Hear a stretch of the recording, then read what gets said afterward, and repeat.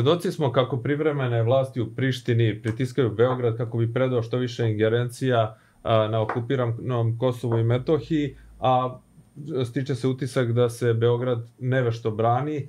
I i da nemamo zapravo nikakvu strategiju, već sve radimo ad hoc od slučaja do slučaja, onda kada Priština nešto pokrene ili Evropska unija ili Amerika i tako dalje. Postoji li ikakav plan i strategija povratka okupirane teritorije pod pravni sistem Srbije? O tome razgovaramo i naš gost je petostruki doktor nauka, profesor doktor Dragoslav Slović. Dobrodošli. Bolje vas našao.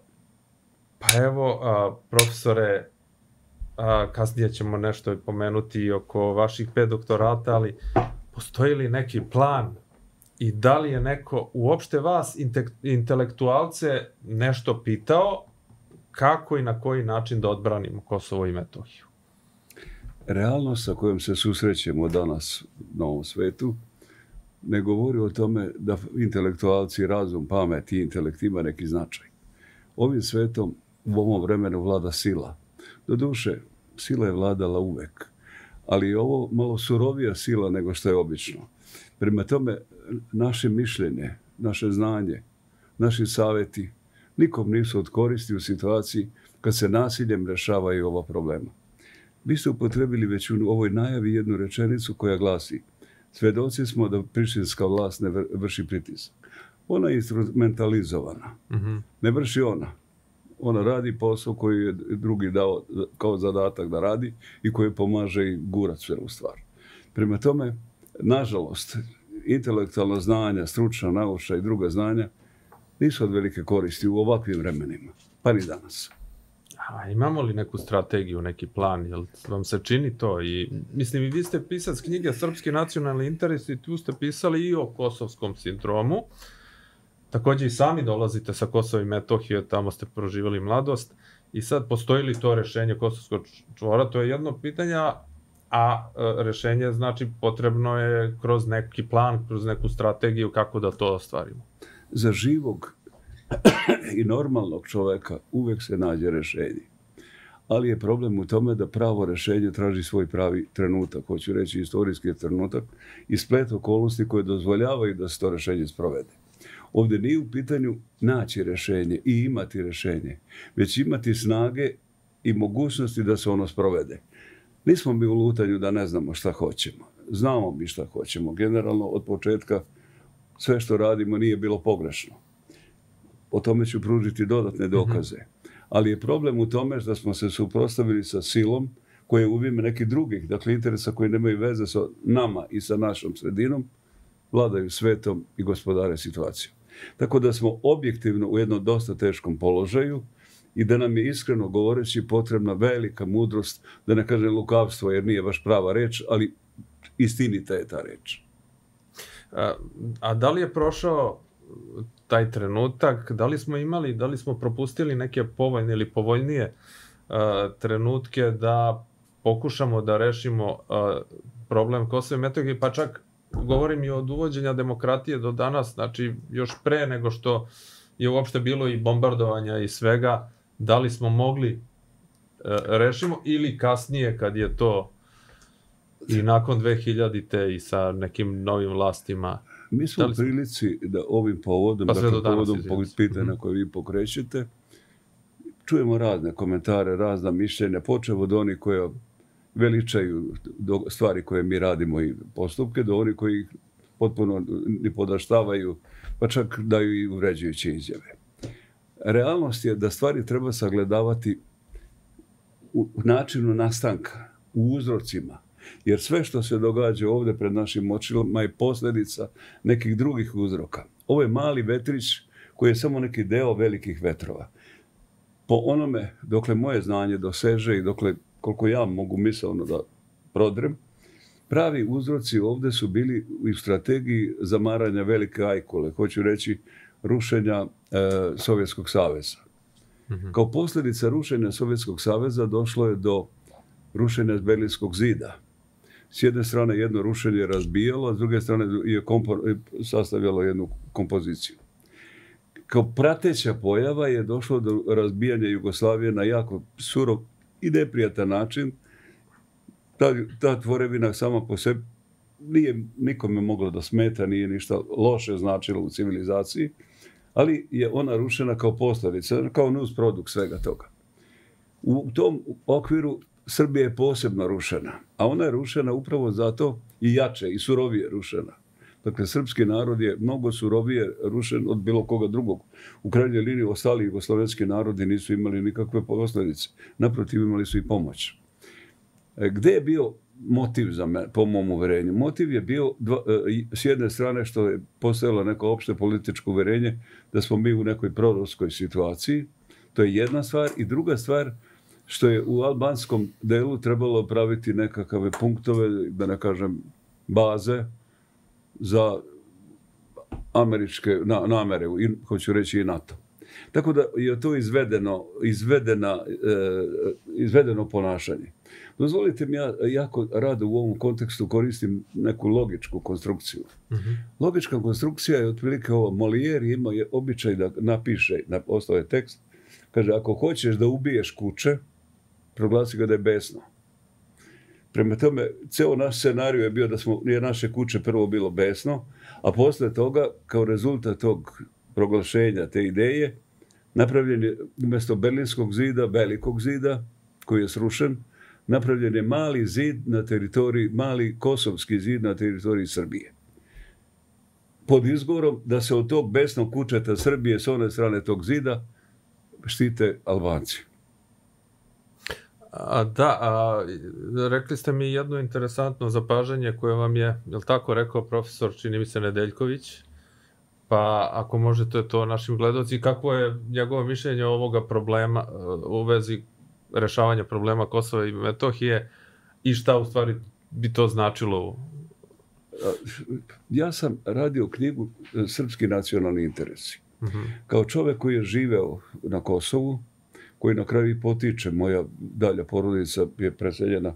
Ja sam treća rođena generacija u Toplici od Leposavića. A dalje sam negde sa Šavnika. Ali i sada e, ljudi koji imaju, da kažem, u tom, kako je to način života, stil života, izvori života, onda ima mnogo tu emocionalnog subjektivizma. Dakle, ja koliko god da mislim da znam, sam emocionalno opterećen time da imam pravi uvid u istinu. Imao sam razgovore tim povodom, tražio sam neka mišljenja umnih ljudi tog mhm, vremena, mm neko ko će da me kritikuje, da da suprotno mišljenje. Prvi razgovor sam imao sa Dobricom Ćosićem. Moram priznati da bi nije bio od koristi. A zašto? Pa on isto gleda kao i ja. Znači iste vizike, iste horizonte, isti poglede, poziciju. Prema tome ništa korisno nisam imao. Onda sam namjerno razgovarao, tražio pomoć od Eh, akademika Nedeljkovića, Dragana Nedeljkovića pokojnog, sa jednim drugim razlogom. On je rođen u Sremu. Mhm. Ljudi koji su živjeli u Vojvodini, a ja sam pola veka proveo u Vojvodini, imaju drugi, mnogo manje ni emocionalni naboj u odnosu na kosovsko pitanje. Dakle, on misli na drugi način. Kod njega je taj emocionalni pritisak mnogo manji i blaži mhm. nego kod mene i kod Dobrice Ćosića. Bila je interesantna jedna njegova ideja i mnogo mi je bio od velike koristi ta njegova kritika. Njegova kritika je bila sljedeća. Kaže, kolega, kad bismo čitali ovu vašu knjigu, ne danas, jer ovo danas što pišete sve je tačno, ali nije dobro. Zašto? Ajde da je čitamo kroz 50 godina. Ajde kroz 100 godina da je čitamo. Dakle, neko će da čita kroz 100 godina. Mhm. Šta će onda zaključiti iz ove knjige? Poruka je njegova sljedeća. Pitanja koje se reša i pripadaju večnosti, ne mogu da se rešavaju u trenutku. Dakle, ti procesi i ciklusi traju dugo i niko nema pravo nečasno je čak da se reše u trenutku, u jednom momentu, u nekoj situaciji jednog političkog pritiska. iskreno sam uveren da je taj njegov pristup bio meni od velike koristi, a i da je koristi, od koristi i drugim ljudima koji ovu stvar danas gledaju, rešavaju, razmišljaju o njoj. A šta to konkretno bi značilo vezano za Kosovo i Metohiju?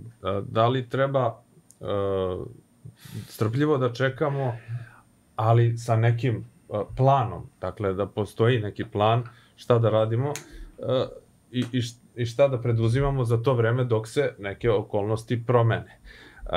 Ili ćemo da sedimo skrštenih ruku i da čekamo da se samo nešto od sebe desi. Ili... Nije lepo da ja vama dajem mm hvalu. Nije pristojno. Ali moram da pohvalim pitanje koje pokrećete. Šta je problem?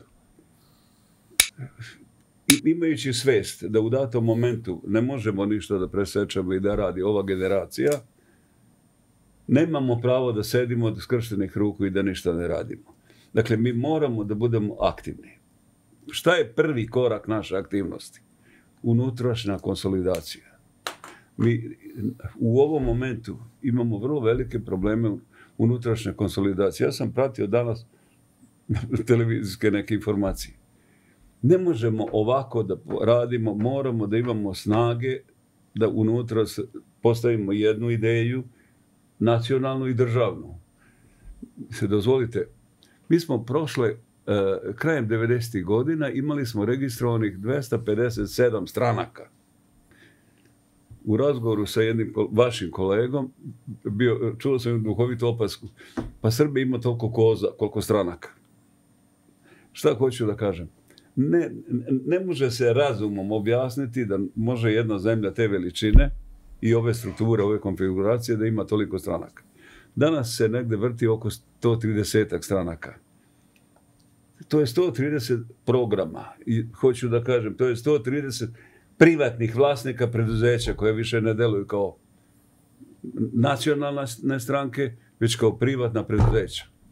Izvinite, pravio sam ovih dana, pošto radim na toj temi neku drugu knjigu, radim knjigu, e, Putevi srpskog jedinstva. I sad sam pravio jedan intervju, ovaj, tako, ljudi koje znam, da ih pitam, da li znaju nešto, prvo, da li znaju da postoji stranka ta i ta. Mhm. A onda kontra pitanje, ali u drugom kontekstu, da li znaju ime toga i toga koji je šef stranke. Niko više ne zna za stranku ili malo ko zna stranku. na prvom seri su imena nekih ljudi koji bi inače bili anonimusi. Ne smemo da dozvolimo sebi da se razudimo na toliko načina i do te mere. I da se nigde ne vidi sinteza nacionalnog i sinteza državnog interesa. Dakle, ne može se državni interes razvijati na stranačkim mhm. pozicijama. Ma koja stranka da je u pitanju. A opet da vratim na ovo, na ovo prethodno pitanje, to je, evo, jevreji su 1800 godina govorili dogodine u Jerusalimu. Znači, da li mi treba da budemo isto tako strpljivi, a da imamo neki plan, nek je to za 20, 50, 100 godina, a iz nekog, da kažem, nešto što sam primetio, ne znam da li se slažete, da kad postoji plan dugoročni, vrlo često se dešava da se on ostvari i mnogo ranije nego što se planiralo na taj dugi rok. A, tako da, ako i na 50, možda se desi da se sklope okolnosti za 5 godina da se reši. A znamo da sad Kosovo i Metohija zbog sile koja ga drži, a to nisu Albanci, dakle zbog sile koja ga drži ne možemo da rešimo, ali da nešto radimo na tome, e, da li diplomatski, da li jačanjem e, ekonomskim države i tako dalje, razne stvari, da li to treba da radimo i onda po, i da pravimo planove. I vojske i svega. Po redosledu koraka koje mi imamo. U situaciji kad se nama, pred nama nalazi neki te, u datim uslovima ne reši problem, sve dok se ti uslovi u nekim širim svetskim relacijama ne izmene, želo bi da o tome kasnije razgovaramo, nerazumno trošiti energiju da se bolimo sa alama i vranama, kako to kažu u kraju. Dakle, nerazumno je sad si boriti se. Mi sada, kao primarni, prvi, prioritetni zadatak imamo unutrašnju nacionalnu konsolidaciju. Moram da priznam da sam kao građanin, kao roditelj, kao deda, vrlo zabrinut za stanje upravo zato što predaleko smo otišli. Mi nemamo više lepu riječ jedan za drugog. Slušajte i vaše kolege i moje kolege, imate, ili hvale ili kritikuju. Ili su poltroni ili kritizeri. Nije lepo ni jedno ni drugo. Mi, dozvolite, obraćam se sad vama kao novinaru i vašoj profesiji. Onaj uh sagovornik koji ne zna i ne ume da ponudi rješenje, ne treba da daje intervju. Nije dostojan intervju. Problem nije ni u kritici, ni u hvali, nego u rješenju. Apelujem na tome da se upravo ljudima koji se nalaze na ovoj poziciji, na ovom mestu, postavi kao uslov. Rješenje je uslov da razgovaramo. Nažalost, vi ste jako redko u prilici da u našim medijima neko ponudi konkretno rješenje. Nažalost, ima i treće nešto. Ja sam ovih dana nešto, ne ovih dana, već dugo pratim na kraju krajeva, to je naša obsesija, Kosovo je naša mentalna obsesija. Pratio sam neke kolege za koje znam da su patrioti, koji su davali izjave patriotske, ali osmišljene na način da štete srpskim interesima. Verujte mi da govorim istinu. Prema tome, moramo da napravimo konsolidaciju i da čvrsto znamo šta hoćemo. Ovo pitanje treba držati za sad na ledu iz razloga što jednostavno mi nemamo te snage. I postoji još jedan razlog, a to je u svjetskim relacijama se pojavljuju mnogo krupniji problemi. Kosovo već počinje da biva sada, već sada mali problem. U, u onoj meri u kojoj se bude Ukrajina i Tajvan pojavili u prvom planu, Kosovo gubi na značaju. A te, da kažem, druge okolnosti i pojavljivanje drugih problema je ono što treba zapravo da sačekamo. Ima se uverenje da svjetski procesi tako razvijaju. Ako treba dokazi, ja ću ih ponuditi. A, a dobro, izmestili smo rješavanje problema iz Ujedinjenih nacija u Evropsku uniju. A, a da li smo pre nego što se ovo desilo sa Rusijom i Ukrajinom, a, propustili priliku da tu učestvuju i ruski pregovarači, zašto da učestvuju samo oni koji žele nezavisno Kosovo, zašto oni da budu tu samo, a izopšteni su i Rusi, i Kinezi, ne znam ko sve može, Indijci, Brazilci, ko sve može da bude tu, ovaj, da učestvuje u tom pregovaračkom procesu, a ne samo oni koji je, kojima je jedini i isključiv cilj da Kosovo bude ne, e, nezavisno i priznato od strane Beograda. Mi imamo jednu uzreku, našu nacionalnu uzreku koja kaže tuđa ruka svrabne češe. Mi moramo učiniti sve. Dovoljno smo izreli i mudri, i nismo duhovni invalidi, da problem rešavamo bez ikakvog posredovanja. Zašto? posredovanje se pojavljuje u stvari kao velika smetnja u ovome. Jer posredovanje umjesto da se pomaže, ma ko s koje strane, ono nam zapravo generalno odmaže. E, kad se svi ovi koje ste pomenuli budu bavili nekim svojim problemima ili problemima druge vrste, niko nam nije potreba. Zašto? Ništa od problema koji se rešavaju nije nerešivo, jer je sve jasno. Ja imam jednu ideju koju ovaj, na, na kojoj sam dosta radio, intenzivno radio. I ako bi postojalo nešto što bi konkretno mogao da predložim kao plod mog duha, e, mi imamo u stvari raspravu o jednoj temi, a postoje dve paralelne teme danas u ovom svetu, u ovom vremenu. Prva tema je e, suverenitet, teritorijalni integritet i suverenitet ne postoji zakonski osnov moralni i bilo koji hoćete na svetu da vam neko oduzima, da vam seče ruku. Nama je ruka odsečena tamo. Mhm. Takvo pravo niko na ovom svetu nema. To je jedna stvar. Međutim, postoji jedna, danas u savremenom ovom neoliberalizmu postoje jači argumenti, a to je ekonomski suverenitet. Molim vas, ako vi imate kuću u Londonu, čija je ta kuća? Dakle, stvari u tome što mi, e, e to je jedina moja primjedba i zamerka i savjet. Ako bi mhm. neko od onih koji treba da odlučuju slušao ovu emisiju i ovo što mi govorimo, e, e, mi moramo da u prvi plan sada, dok se sve ovi drugi postupci razvijaju, ubacimo ekonomski suverenitet. Zašto ovo govorim? dakle, ovo što govorim, ovo nisu podaci koje sam ja negdje čitao, pa sad pričam kao neki moji kolege koji se pozivaju na neke druge izvore. Ovo su podaci na kojima sam lično radio. Dakle, ja sam radio, bio sam u računovodstvu računovođa na pruzi Metohija Prizren. I znam kako su pare dolazile, kako smo ih trošili i ko ih je davao.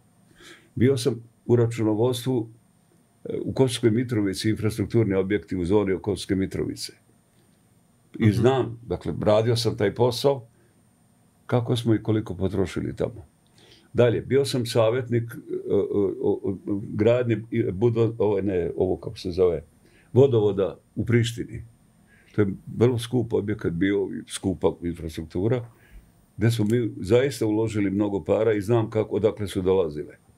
Radio sam nešto na Balkanu Suva reka, onda jedna su jako interesantna i vrlo čista ideja, a to je Ibar e, Lepenac. E, tu je na kraju, znači neću da detaljima ovaj, da vas znavim, tu je 89% e, te investicije financirano od strane Republike Srbije, odnosno njenih institucija, da ne kažem direktno od Republike. E, hoću da kažem, dakle, mi moramo da prenesemo težište na ekonomski suverenitet. Vrlo konkretno.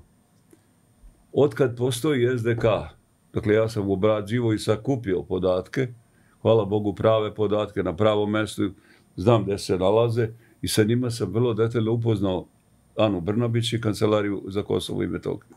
Znači, vrlo mhm, mhm. predao to. Mi smo od 65. godine do dana secesije na Kosovo uložili 12 milijardi dolara. Dolar je rađen po e, e, stalnom kursu iz 2015. 31.12. To je ono što je dokazano. Usvajali su ga e, Skupština Kosova zakonski i usvajala ga je Skupština Srbije. Moja je procena da smo u periodu od 65. do, izvinite, 45. do 65. urožili oko 5 milijardi dolara. Dakle, mhm. to je jedna impozantna cifra. Šta je moja zamerka? Čak i za ovo vreme, a ne za... Ne, ne, ali, ne, ne, ali to je, to je naše. Da. To je i u ovom vremenu naše. To ulaganje nikada ne zastareva. Dakle, to je naša vrednost. Drugi moment je taj argument treba koristiti iz razloga što u svetu se stvarala atmosfera da mi eksploatišemo, terorišemo i maltretiramo taj svet. A treba da se zna da smo uložili, molim vas, govorim, odgovorno govorim 17 milijardi dolara ukupno u porotnom periodu do dana secesije.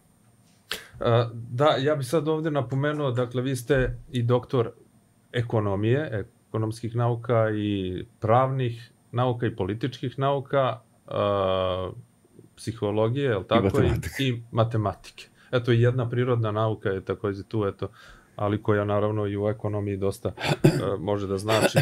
A, e, da li, eto, kažem, pitam vas, evo, iznali ste taj podatak, ukupno 17 milijardi koje sad ima možda mnogo veću vrednost, tih 17 milijardi dolara. Sad, da li je to nepovratno izgubljeno? Da li postoji način da se povrati? Da li to treba da priznaju neki međunarodni sudovi ili neki drugi međunarodni subjekti kao politički?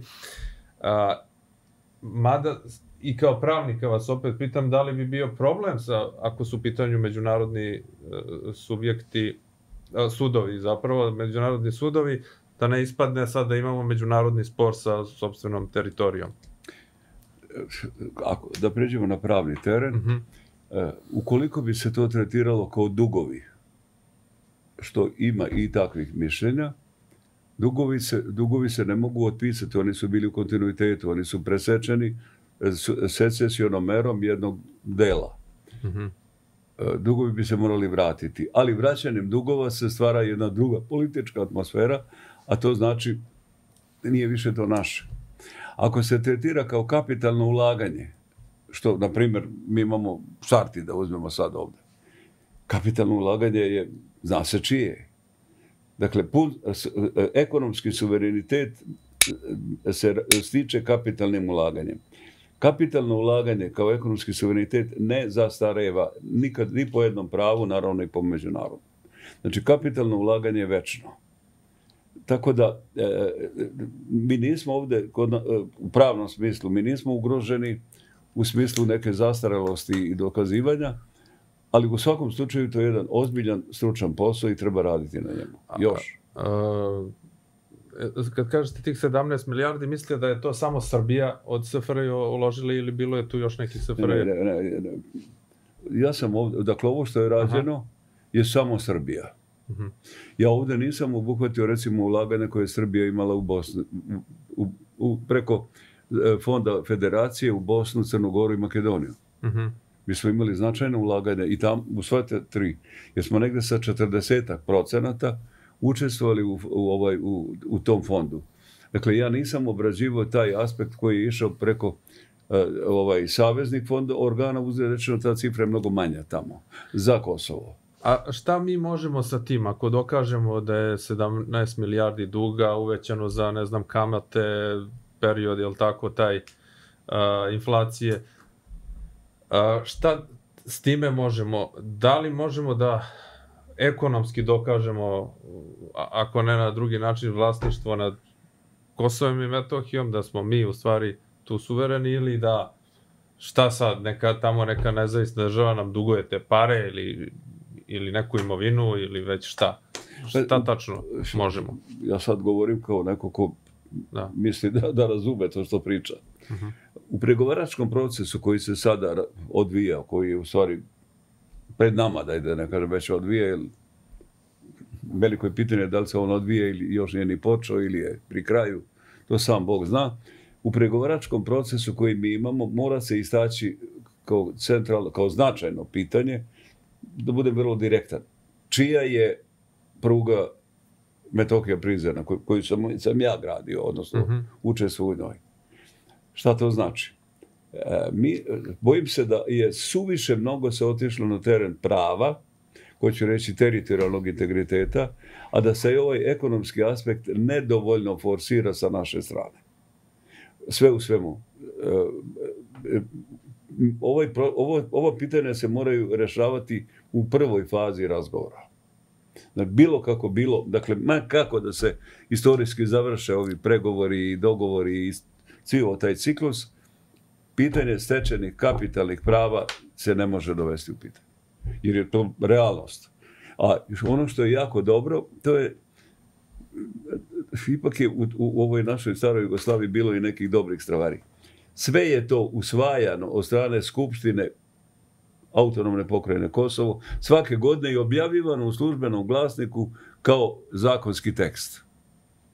Znači, ne, ne znači, treba da se borimo... dokazi Postoje značajni dokazi. Postoje dokazi, ja sam o tom imao razgovore, ima ipak neke stvari koje baš nisu za neku najširu javnost. Postoje dokazi, prvo, financijski dokazi. Drugo, postoje pravni dokazi. Svako to ulaganje je dodatno registrovano. Primjer, Beogradske banke su ostvarile negdje pravo otpisom silnih potraživanja skoro 70% kod Trepče. Sve je to pravno registrovano i sprovedeno. Znači imamo dvostruke dokaze. A, možete li da još neke primjere da navedete, rekli ste i prugu smo gradili, šta još pripada Srbiji kao, kao, kao Srbiji kao takvoj. Dakle, možda je tu sad, možda će neko da kaže da ako Srbija uloži taj novac, ona zahvata iz čitave Srbije, uključujući i Kosovo i Metohiju, da bi dala Kosovo i Metohiji, znači možda neki procenat otpada na Kosovo i Metohiji, Svi ali proračuni te vrste postoje. Da. E, ja sam namjerno naveo samo one objekte na kojima sam direktno radio. Bio sam zaposlen u građevinskoj firmi Žegra Beograd. Ona je te radove izvodila i, dakle, sve dok sam događaja na licu mesta. A, na primjer, autoput koji je građen dole kroz Kosovo dalje. E, isto je financirala Srbija. Ja nisam napominjao ono što nisam učestvovao, nego baš ono, namjerno sam pominjao one, ona, one objekte na kojima sam radio. Znači nešto što sam svedok, što, što nije priča za malu decu, nego baš ozbiljnost. E, zaista smo veliki deo toga, recimo Balkan suva reka, to je velika cifra bila. Mm oni su tu napravili neke isto dosta nepromišljene poteze odlukama na, o danu secesije. Bilo bi razumno da su oni rekli mi priznamo sve ekonomske odnose sa vama. Sve što smo dužni, tekući dug, dug koji je zasnovan tri dana pred secesije, se smatra nepostojeći. Ne može tako. Mhm. Znači, to je nasilni akt. Ovaj, ali moramo doći u situaciju da se o tome razgovara. Ja ne, vidim, naravno, nisam sasvim upoznat o čemu predsjednik razgovara i da li se je uopšte to na dnevnom redu. I dobro bi bilo da ja nisam u pravu, nego da je to baš stvarno na dnevnom redu i da se to raspravlja. U svakom slučaju, ja sam pravio presjek bilansa na taj dan, na dan secesije. Negde milijarda i 300 miliona dolara je bio tekući obaveza Kosova. Nije to mala cifra. E, godišnjih ili kako? Boli? E, to je šta? Na kom nivou? Ne, to, to je na nivou pokrajine kao celine. Da duguje... to, to su tekući dugovi prema bankama i Srbije tekući, uh dospeli i prema preduzećima. Isporučio si mu nazad neku robu tamo i on to prekida, tim danom prekida i ne smatra se dužnikom. Ali rekli ste da ste davali e, tu dokumentaciju i razgovarali sa Anom Brnabić i, i šta je na kraju bilo s tim i da li je i da li je na kraju trenutak da se to pitanje otvori, da li je već odavno i prošao trenutak i uvek da li je trenutak. Pristojnost mi nalaže da ne zloupotrebljavam taj razgovor. Razgovor je bio sasvim pristojan, civilizovan, kulturan, sa puno razumevanja i ono što mi je kao čoveku, kao građaninu drago, ona me izveštavala o aktivnostima koje je preduzela. U smislu da je pisma koje je slala nadležnim tamo organima za dokumentaciju, jer malo je to problem i dokumentovati. Ja sam to imao, ta, ta pisma, sačuvao sam ih. I ovaj, međutim, pokušavam da, da afirmativno govorim sada da je to pitanje ostavljeno pomalo po strani, da se čeka trenutak. Tako razmišljam i bolo bi da je tako. Ali trenutak je već sada. Apsolutno da. uh I oprostite, uh kada bih bio u poziciji, naravno čovjek mojih godina i mog statusa ne može da, neozbiljno da razmišlja i da javno govori o tome. Kada bih bio u poziciji da nekog savjetujem šta da radi, upravo bih dao savjet da se sa te karte otvore što pre. I drugo, predlažem, e, predložio bih da se napravi odmah paritetna komisija, zašto da ne njihovi ljudi. Dozvolite, imao sam prilike, pošto na kraju krajeva ja sam i moji prijatelji među Albancima, hvala Bogu da ih imam. Imao sam prilike da razgovaram sa jednim čovjekom koji je negdje na vrhu kosovskih struktura sadašnjih, i sad namjerno sam mu iznosio neke podatke koji postoje o tome e, e, koliko je osiromašeni uranijum ovaj, oštetio tamo podrinski del, ne, drimski del. Mhm. I sad sam pitao, ako bismo mi ovo pitanje pokrenuli, jer smo mnogo oštećeni, i mi i vi, čak oni više u tom delu, od onih bombardovanja, onih bacanja uranijuma, da li biste vi stali uz nas? Jer ovo, što vam govorim, znam da znate, znam ga i ja i vi. mm Šta biste uradili? Šta je odgovorio? E, razgovarat ću na tom nivou. I javio se posle nekog vremena, odgovorio ne, ne bismo stali. Jer, jer ovo je istina što govorim. Oni prihvataju tu, to kao kolateralnu štetu ili šta? Pa, izvesna je ova stvar ono što meni malo nekako deluje bolno za nas Srbe, u Prištini je podignut veliki spomenik Billu Clintonu. Ja sam malo, spremajući se za ovaj razgovor, sam malo skupio još neke podatke i sad malo sam cinično nešto postavio sebi kao pitanje da li treba da izgovorim sljedeću rečenicu ovdje, a to je, volio bi, e, e, ne volio, nego siguran sam da ćemo imati spomenik one Albrightovi onoj koja je živa zahvaljujući tome što je ovdje sačuvala život u ranom detinstvu. Ovdje kod nas u Srbiji, od ovog naroda, koja je znala naš jezik. Da. Ovaj, ali čujemo svakakve priče da se razočarala u ljubav nekog crnogorca, ali očigledno da je ona smatrala njega Srbinom, pošto se nama osvećuje. Da, jel tako, kao što je i to i bilo u to vreme. Nećete valjda reći da je pogrešila. ali dobro. ali e. da pustimo sad to, ovaj, vezano za to, taj finansijski deo, dakle, rekli ste da je to nešto što ne zastareva, dakle, to naše pravo ne nije i ne može da zastari. Znači, to se razlikuje od nekih uobičajenih, kao, ne znam, plaćanje infostana i nekih drugih ima, ima, još jedna, ima još mhm. jedna stvar. Primjer radi, namerno izlazim iz, sa terena. Na području Bosne i Hercegovine po zakonu o obligacionim odnosima se problem recimo zastarosti potraživanja koja su bila tretirana tri kao tri godine je promenjen bio jer zbog ratnih, dakle vanrednih okolnosti se ta zastarelost se produžuje. U svakom slučaju, mi smo u ovoj situaciji u vanrednim okolnostima, tako da i te vanredne okolnosti, u ostalom vi ste pravni, koliko znam, da. produžuju, produžuju ovaj, ta zastarelost. Dakle, mi ovdje nismo pred problemom zastarelosti. Mnogo je teži problem dokazivanja. Ali je srećna okolnost da su svi ti bilanci, hvala Bogu, sačuvani tamo gdje treba i usvojeni kao zvanični akt Skupštine pokrajine Kosova. Da, dakle, i sama pokrajina Kosova i Metohije ovaj, je tada priznavala to kao da je primila, jel tako, određeni pa, novac, određenu pomoć. Sačuvani, su, sačuvani su svi bilansi svakog pojedinačnog preduzeća i u svima postoje jasni dokazi. I sada bi to trebalo prezentovati, evo sad je Miroslav uh, Lajčak, sad jedno je pitanje da li, da li on kao, uh, kao neko ko se zalaže za nezavisno Kosovo, kao i ranije Eštonova i ljudi koji, dakle, Catherine Ashton i drugi pregovarači, posrednici zapravo, svi su oni u stvari podržavali tu neku nezavisnost Kosova, a jedno je pitanje da li uopšte takvi ljudi mogu biti posrednici, to bi trebalo da bude neutralno. A drugo je da li mi možemo da im prezentujemo takve stvari i baš zato da li možemo takvim ljudima da prezentujemo kao ovo, da li će oni obratiti pažnju na to ili će da kažu ma sklonite to, to nas ne interesuje, interesuje nas samo nezavisno Kosovo. Ipak da se vratimo na politički teren. Mhm jer nekako smo se razudili u dva pravca. Mhm. Pravni e, suverenitet i ekonomski suverenitet. Vraćamo se na politički. Lajček ne može da razgovara o tome da li je to toliko ili ovoliko.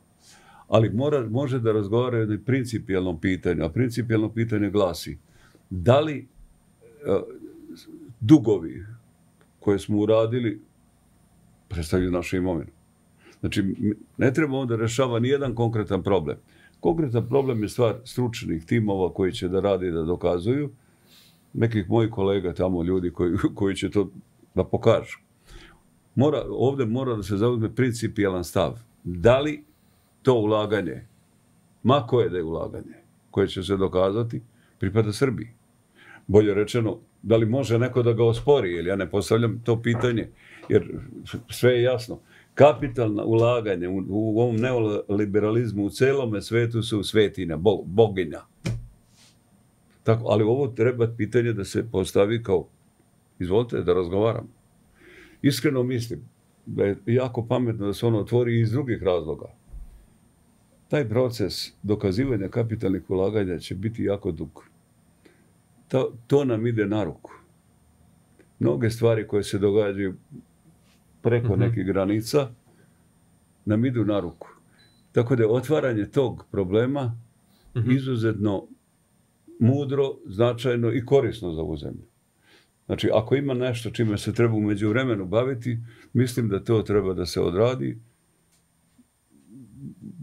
ipak detalje ne bih volio da ovo izlaže. A dobro, a, ajmo nečemu drugo. Od, odakle tolika mržnja Albanaca prema Srbima? Mi njih čak ni dan danas ne, ne mrzimo, a vi ste u vašoj knjizi navodili, navodili citate naših pisaca da čak nismo mrzeli ni Turke, a ni Turci nas. A Albanci nas mrze, kao što mi znamo jako dobro Ovo je su nas... nešto da vam, da vam iznesem, da ne kažem da ispričam, jer malo neugodna reč. Ja sam 59. godine kao mlad 19-godišnjak došao da radim u Kovsku Mitrovicu.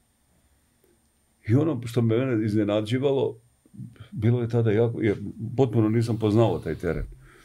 Turska populacija je bila vrlo velika. Bilo je puno naroda, puno Turaka. Moram da priznam da sam imao prelepe kontakte sa njima, ali ne da sam imao, nego su, nego su odnosi sa Turcima tim koje smo znali, koje, dakle, mhm. ja sam svedok ovoga, bili perfektni. Vrlo prijatni čak. Ono što me iznenadilo, solidno su govorili ovaj, srpski jezik. Ne mogu dalje da pričam jer mi prelazi u neke ljudske intime, što nije pristojno.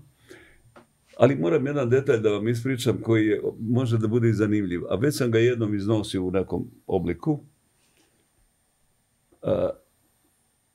jedan ovako detalj koji bi bio interesantan, ilustrativan za uh, mržnju i ljubav. U tom kraju, u centru Mitrovice, nijedna kuća nije imala dovoljno veliko dvorište, jer oni su imali velike ograde, male kuće i djeca nemaju gdje da igraju futbal. A ja sam stanao u direkciju koju sam radio. Imali smo veliko dvorište. I sada deca iz komšiluka dođu da me mole da im dozvolim da igraju futbal. Što naravno, meni to nije smetalo, pusti djecu da igraju. Kad su se sistematizovali, Srpčići i Turčići su išli uvijek na istu stranu. mm Albančići su išli na drugu stranu. I sad sam ja onako, čovjek sedi ne zna šta da radi dosadno ponekad, gledam kako igraju futbal. Albančići su, ali to je bilo u vaspitanju, u genu, u detinjem odgoju, na jedan dosta podmukao način falulirali našu decu. I to sam gledao i nekako mi je to zapalo, ali čovjek ostaje samo da vidi, da zapazi, da kaže, e, gle šta radi. Pričam jedan detalj, a namjerno pričam u funkciji nečeg što je interesantno. Dolazi jednog dana naš šofer Miša, vozi čovjek teretni kamion i voli decu. I dona jedan fišek, veliki fišek bombona i deli svima pravedno, nema da odvaja. Ali u to doba, u to jednom opštom siromaštva, Albanci su bili zaista najsiromašniji iz mnogih razloga, počeo od statusa, do toga su imali mnogo dece. Deca su jako uživala kad dolazi Miša. Čim dolazi Miša, svi se raduju, bit će bombona. Jednog dana Miša ovaj, kupio jednu kilo i poslanine. Naseckao sitno i stavio pored stative. Srpčići naravno dolaze ma, jedu slaninu. Turčići jedu slaninu mm sa Srpčićima. Ali i Albančići počeše da jedu slaninu i sada kao frajeri dolaze pored mene, prolaze, namiguju mi i pokazuju kako jedu slaninu. To bi bilo jako interesantno ovaj, i to iz dečje psihologije, jer sam mnogo kasnije to mogu i da razumem kad sam doktorirao psihologiju. Ovaj, ali kada su počeli da izigravaju drugove frajere koji zajedno jedu slaninu koju kradu tamo, nije bilo više faulova.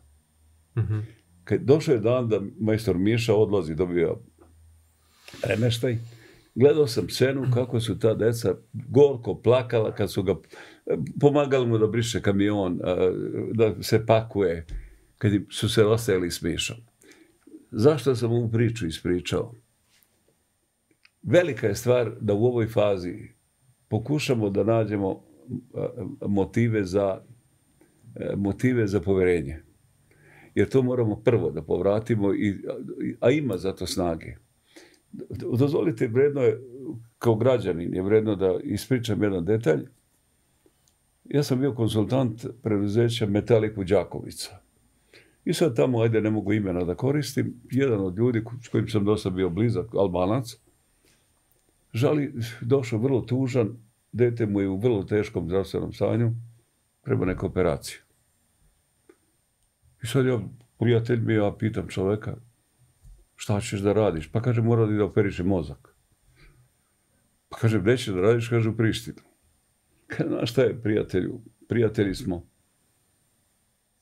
Beogradska neurohiruška škola je vrlo poznata u Europi, ta klasa ne bi se igrao s tim da mozak, mozak deteta povjeravam nekim ipak lekarima, nekom nivou koji...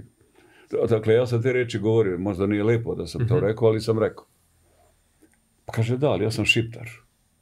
I sad ja, čoveče, si normalan. Pa ne misliš valjda da će srpski lekar da ne leči tvoje dete zato što si ti šiptar. Šta ti pada na pamet? To je svet kome ja pripadam i garantujem ti da će oni da rade savest. Kaže, ti to veruješ da je tako. Duboko verujem. Idem s tobom u Beograd. I on povede dete sa mnom, odemo kod lekara i sad ja sam moram da priznam da poslije toga više nikada nikom u životu neću savjetovati gdje da ide kod lekara. Hvala Bogu. Operacija je uspjela, sve je bilo u najboljem redu. Sjećam se dana kad je on odlazio sa tim detetom. Mi moramo i dobre stvari da, da vidimo, ne možemo samo zlo. Ruku na srce. I, imam, imam i dosta i lepih iskustava da je sve obrnuto. Imao sam neku želju, ali ne vjerujem da ću imati u životu snage, da napišem roman pod nazivom Pobratim. Da obrađujem jer znam takve primjere, svetle primjere, zaslužuju da se podvuku obratimstvo između Srbina i Šiptara. Da, ima, ima toga, kažem, ima i ovih i onih slučajeva. više, mnogo ovih, nažalost, mnogo pa, više. Nažalost, ja, ja evo mogu da kažem, kad smo mi, pošto smo bili odselili pa se vraćali na Kosovo i Metohiju, pa smo živjeli u Somboru i bio sam dete i oni tačno znaju koje auto nije sa tablicama kosovskim i njega gađaju. Znači mi sa SO sa tablicama dođemo i prolazimo kroz neko šiptarsko naselje i deca gađaju kamenjem nas i pokazuju dva prsta. A e, bilo je svetlih primjera i kažem i oni kao trgovci su jako dobri trgovci čak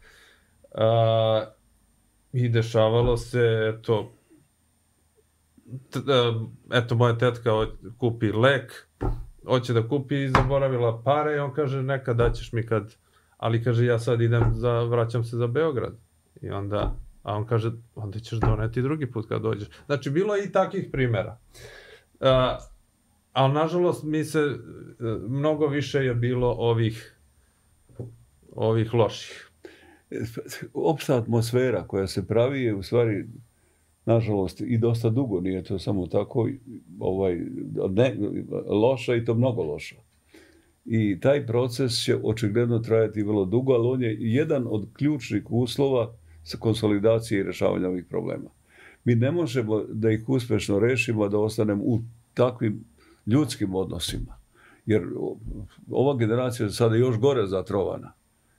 Tako da taj proces će biti jedno posebno polje, ali da ga ne otvaramo i njega jer mnogo više ali, ali kada je u stvari počela ta mržnja, da li sa lažnom historijom iz Beča koja je odbačena, a kasnije i raskrinkana knjigom Teodora Tolove koja je o stvaranju te veštačke albanske nacije, pošto je ona gledala u, u bečkim arhivima direktno ta dokumenta, kako su izmislili da su Albanci Iliri, pa su ih...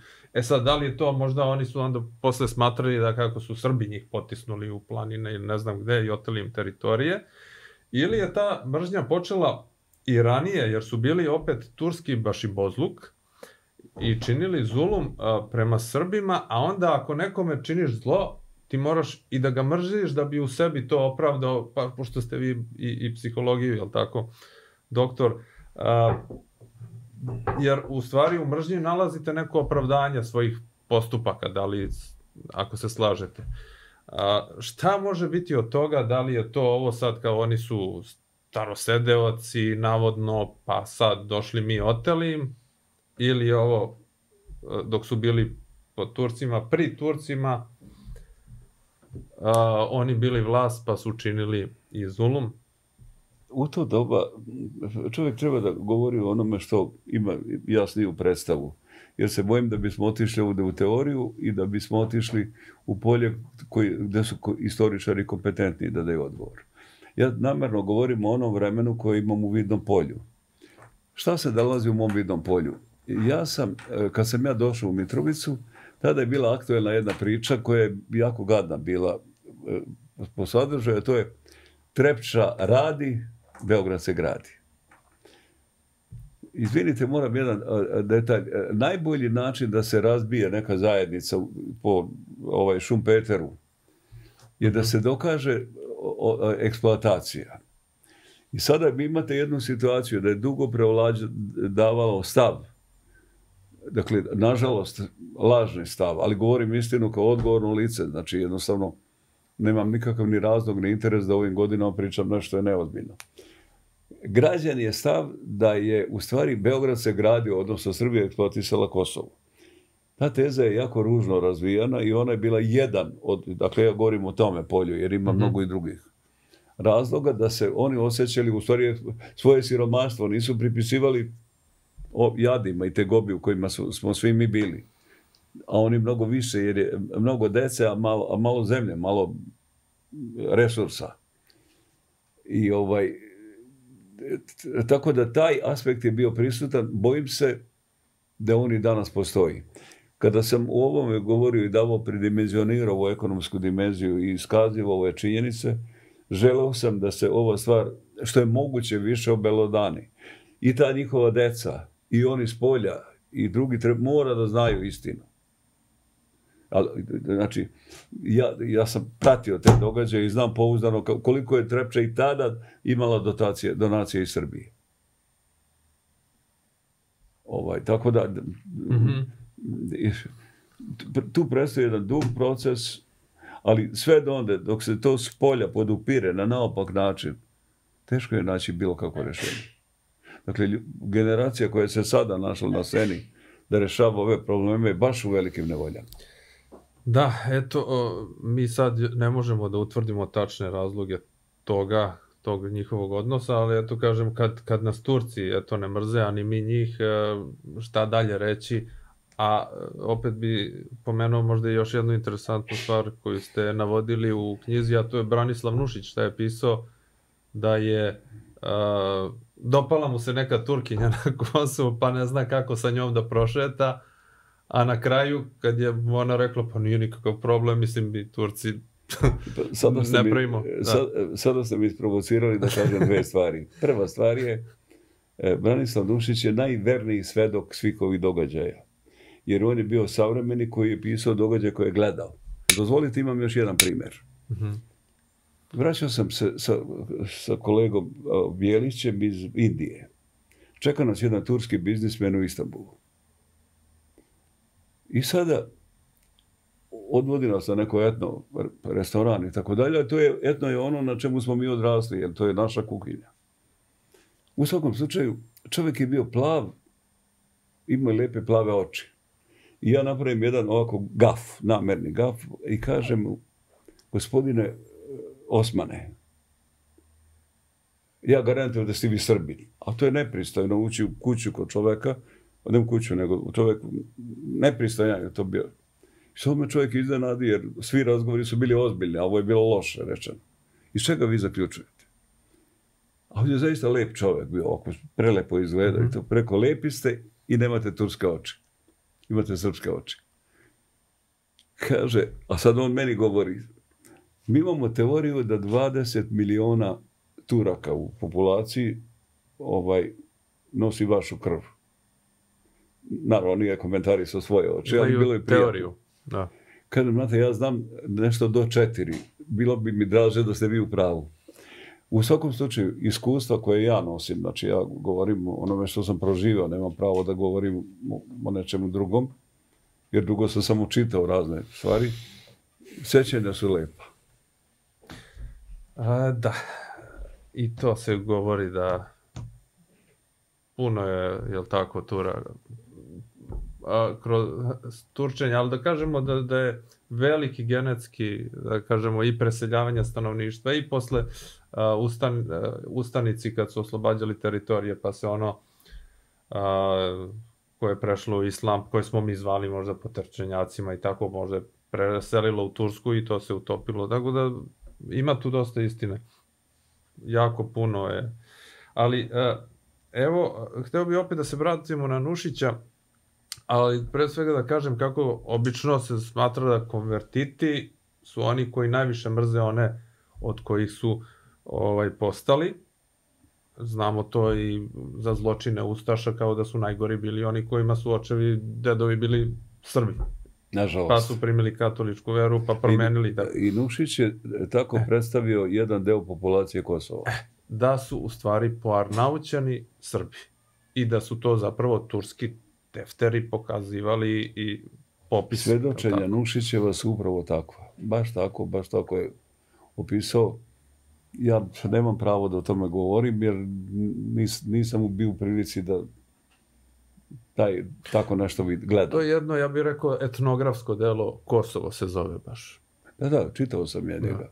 I koristio ga u Da, ali zbog gledalaca, kažem. Tako da nije pisao samo komedije, nego i neka ozbiljnija dela. Pa on je, on je bio profesor Vojne akademije. Uh-huh. Bio je jednu sjajnu knjigu iz retorike, pravne retorike imao. Da. Jedna od najboljih koje mi imamo na našem jeziku. A možemo li Kosovo i Metohiju porediti sa Ukrajinom? Ukrajina koja je na neki način oduzeta, izašla iz Rusije na, na jedan način, Kosovo i Metohija opet od nas odvojeno na možda drugi način, ali da li možemo sve to da poredimo uh, i da napravimo neku paralelu između Kosova i Metohije, Ukrajine i ovo što se dešava? Tu imamo dve različita poređenja. Jedno poređenje E, Ukrajina je bila, odnosno Kijev je bio 300 godina prestolnica Ruske carevine, kraljevine, mm-hmm. carevine. A, tako da, jer Ukrajina je mnogo više uporedivija sa Crnom Gorom. Mm-hmm. Zašto? Zato što se ovdje ipak radi o neka dva naroda. Kako god da, da gledamo, da iz koje god strane da gledamo, Srbi i Albanci su dva različita naroda. Da, da, Čak sa velikim razlikama nema malte ne ništa što ih vezuje u etničkom smislu. Uh, tako da je ta kopča sa Crnom Gorom je po toj liniji daleko, daleko dublja. A sa Kosovom nas vezuje činjenica da u stvari predstavnica rođena je, država je rođena tamo i naravno postojala je tamo. I ovaj, mislim da je mnogo jača kopča Ukrajina i Crna, Srbija i Crna Gora i Ukrajina i Rusija nego Kosovo. Bilo kako bilo, ipak smo mi dva naroda. To u svakom slučaju, nego kažem, opet teritorija, ali postojali su razni načini na koje su ne samo one se obi Arsonija Čarnovića, nego kasnije i u komunističko vreme kad su se raseljavali otud, a doseljavalo se od 45. se doselilo veliki broj Albanaca iz Albanije, ali sad da ne ulazimo i u te teme. A, da kažemo, opet su nas bombardovali zbog nekakvih prava Albanaca, a da nikada nismo saznali koja smo im to prava oduzeli zapravo. To nikada nećemo ni saznati, iz prostog razloga što je sve što je pomenuto u, u, u tim aktima konstrukcija, da ne kažem gola laž. Ali ne govorim ovo zato što sam Srbi pa osjećam to, nego je to zaista istorijska istina. Dakle, prvo nikada nećemo saznati iz razloga što se tako nešto nikad nije ni dogodilo. I objektivno, dakle, govorim kao čovjek koji je živio tamo, koji je na kraju imao i prijatelje tamo. Ovaj, nikada se nije dovodilo u pitanje njihova prava ovaj pravo, bar ne na ovakav način kako se ovdje postavljaju. Jer molim vas, onaj koji od svoje sirotinje izdvojio 17 milijardi dolara, ne može da se igrao sa nečim pravom. Jer na kraju to, to je konkretna, e, konkretno davanje. Znači, neko je od svoje dece odvajao, da ne kažem da koliko je i naša sirotinja trpela toga, i davao da bi mogao da maltretira nekog i da ga zlostavlja. Znači, najdublje sam uveren da je ovdje jedna obična konstrukcija koja je u onoj funkciji daj da njihovo kuće bude besno. Potpuna konstrukcija. U krajnjoj liniji ja ne mogu da se setim da je bilo nekih e, insistiranja na nekim pravima. Sva prava koje Čak se može reći i da su, da, da, da su pomalo izloupotrebljavana ta prava i da je ta svijest postojala tamo. A, ali evo, kao neko ko, ste, ko je mladost proveo na Kosovo i Metohiji, a opet e, sa, vi ste poreklom iz Crne Gore, a, šta vam je u stvari teže palo? Ova takozvana nezavisno Kosovo a, ili nezavisna Crna Gora? Da li Moram dakle, da kažem da, da me, da, najbolnije me je ipak odvajanje Crne Gore. Ali ne samo odvajanje kao čin, nego način i izgovor pod kojim je rađeno. Najbolnija reč koju sam u svom životu čuo je reč nezavisna Crna Gora. Dakle, reč nezavisna me jako boli. Zašto? Kada je Crna Gora bila zavisna?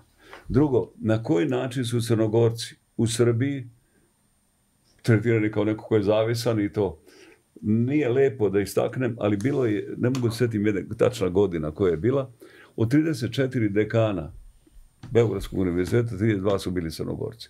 Pa može li se reći da je Crna Gora i crnogorci ovdje bili pocenjeni? Dakle, ja, na primjer, ja, ja sam Prokuplju učio gimnaziju, mhm. Crnogorka mi je bila profesor srpskog jezika. Uveravam vas da sam ceo gorski vjera znao na pamet. Zašto? Zato što sam to voleo da znam.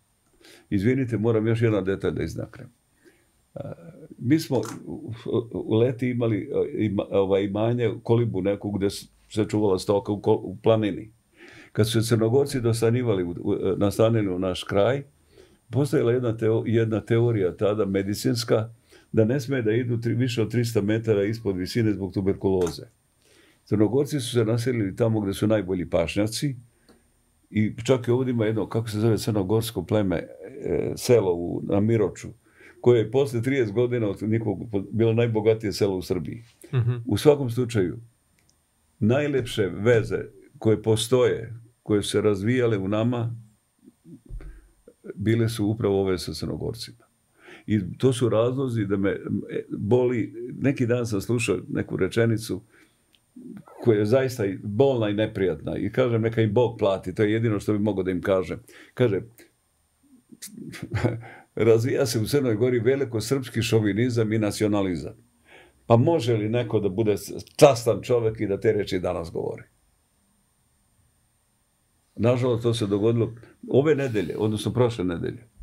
Ja mislim da to već duže vremena se tokom vlasti koja još nije potpuno sišla u Crnoj Gori, ovaj, govori. Ali, ali, dokle odlaze stvari?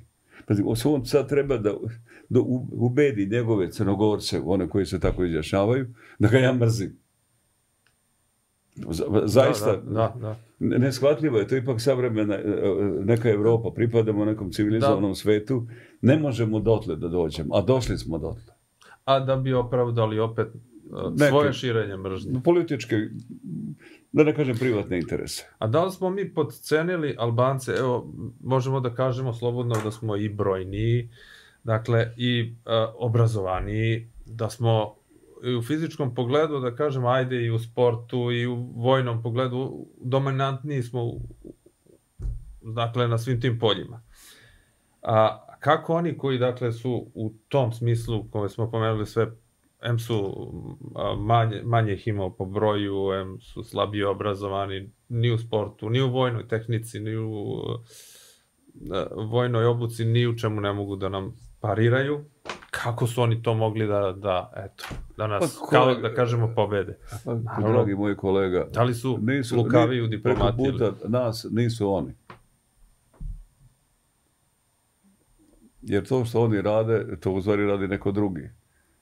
Oni su samo eksponenti tog što se događa i u to u krajnjoj liniji kao uzročna posljedica, početak svega toga je raspad Sovjetskog saveza i e, konfrontacija interesa. Kome je smetala Jugoslavija? Onakva kakva je. Da li su Slovenci želeli da idu iz nje? Da li su, da li, ko je želeo da ide iz nje? Ono je bila jedna funkcionalna država Dakle, jednostavno, stvari su u nekom širem i opštem scenariju bile takve, a to praktično znači da i ovdje ova albanska snaga ne stoji preko puta nas. Znaju oni ko stoji za njih i, ovaj, i to mi daje i snagu i hrabrost, pa ne kažem pomalo i neku vrstu bezobrazluka, nažalost.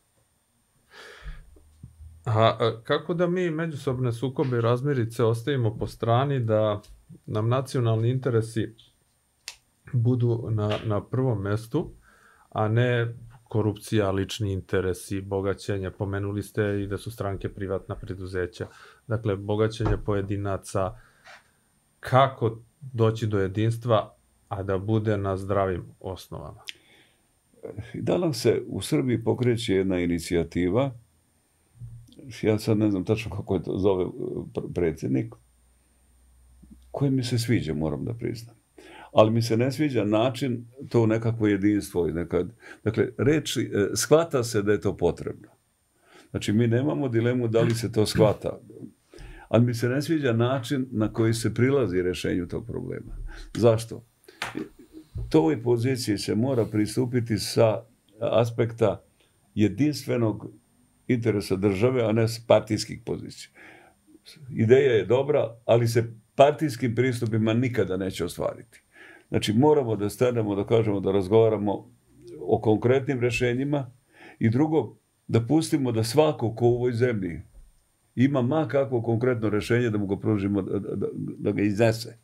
Ali ne, ni da kritikuje, ni da hvali. Jer moram da priznam da je bolno i ovo kod nas slušati i jednu i drugu stranu. Znate, ja, ja iskreno mislim da više zla danas nanose predsjedniku države, oni koji ga hvale, od onih koji mu polađuju, koji ga kritikuju. Dajte da govorimo istinu, svu istinu i drugo, da, da se okupimo oko nacionalnog i državnog interesa. Ni jedan stranački interes ne treba da bude u groplanu. Ako to uspemo, bit će u redu. Ili interesi pojedinaca, tajkuna i tako dalje. A, ali još par pitanja, ako mogu, vezano za evo i ukrajinsku krizu. Da li se mogla izbeći ukrajinska kriza?